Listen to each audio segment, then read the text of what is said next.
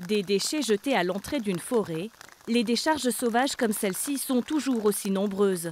Elles dégradent le paysage et polluent les sols. Les responsables s'exposent à une amende pouvant aller jusqu'à 1500 euros.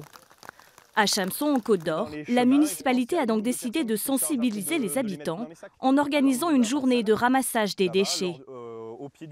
Je pense que c'est dans l'air du temps. Euh, il faut qu'on préserve notre environnement euh, avec tout ce qui se trame, le réchauffement, enfin tout, plein, plein de problématiques euh, qui moi, me tiennent à cœur. J'essaye de, voilà, de, sensibiliser le maximum de gens.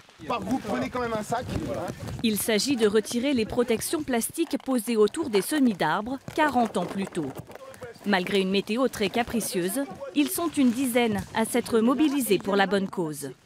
Je suis née à Chamson, j'habite Chamson. Il faut entretenir euh, euh, la forêt et puis que nos petits-enfants puissent profiter au maximum de ce qui va rester. Je trouve que c'est un, geste citoyen, que les gens jettent n'importe quoi et tout et n'importe quoi. Donc on m'a dit qu'on allait nettoyer la forêt, donc je suis venue, je trouvais que c'était utile. Le but, c'est aussi de pouvoir échanger avec un technicien de l'Office national des forêts pour découvrir son travail, comprendre tout ce qui est fait pour préserver les bois.